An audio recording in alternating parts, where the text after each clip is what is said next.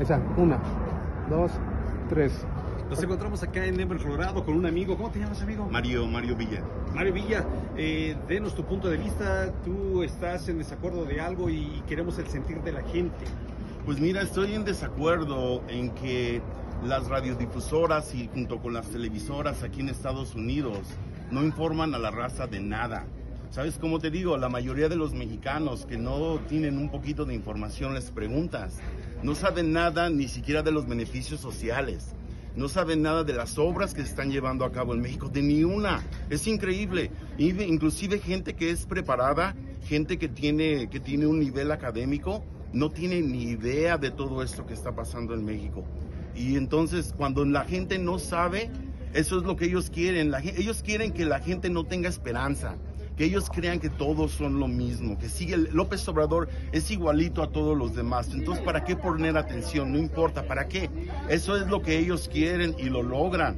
Mira, López Obrador ya tiene cuatro años en la presidencia y hasta el día de hoy sigue siendo la misma basura. Radio Fórmula, Radio Fórmula que aquí suena en Colorado, son la peor basura. Se tienen programas extras de golpeteo. Hay un tipejo que se llama Milo Sánchez, ah, igual que Sánchez Melgar, que tiene un periódico. Y Rodolfo José Cárdenas, que dirigió Univisión Colorado por 20 años, 30 años. Son chayoteros profesionales, gente que se dedica a diario a estar golpeteando la presidencia de López Obrador. Nunca dicen un solo comentario positivo. Es golpeteo, golpeteo y golpeteo. Aquí andan, aquí andan algunos de ahí de la 280 y de la 1150. ¿Y, cuál es eh, tu opinión en qué se debe de mejorar o qué, se debería hacer para, digo, para poner de nuestra parte o de tu parte? Pues mira, para empezar, que Vicente le caiga para acá, para Colorado, porque Vicente es una persona a la que respetamos mucha gente, sin, no porque tú eras sin censura, lo respetamos ese cabrón, ¿sabes cómo te digo?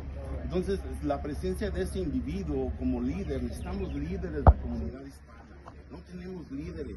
¿Qué vamos a hacer cuando se vaya nuestro líder López Obrador? ¿Qué vamos a hacer? No tenemos tantos líderes. Pues que agarre Vicente la batuta. Te digo algo. Vicente viene. Ya estamos planeando algo para junio, precisamente en junio, julio. Vicente y otros estaremos acá en Denver. A ver para que nos acompañes. Excelente, brother. Excel se requiere.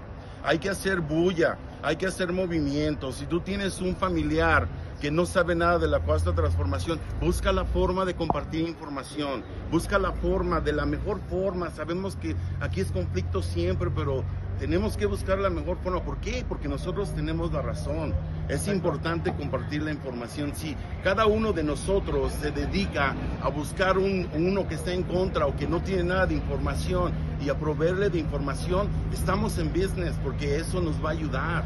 Si la gente sigue pensando que es lo mismo López Obrador, pues es, problema. Pero aquí en Colorado hay mucho apoyo y también es sin censura.